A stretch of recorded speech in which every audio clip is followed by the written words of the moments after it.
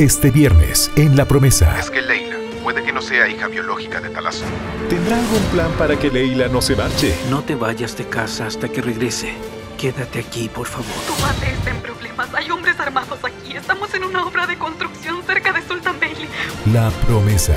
Lunes a viernes, 14 horas. Por Bolivisión.